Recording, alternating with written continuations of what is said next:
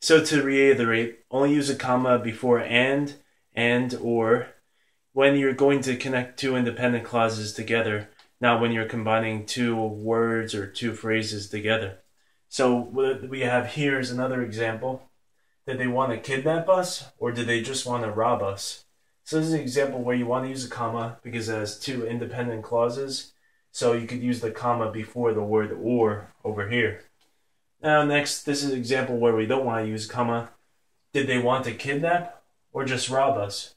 So we don't want to use this comma here. We want to remove it because the sentence does only have one independent clause and either that or it connects two verb phrases. So a comma would be incorrect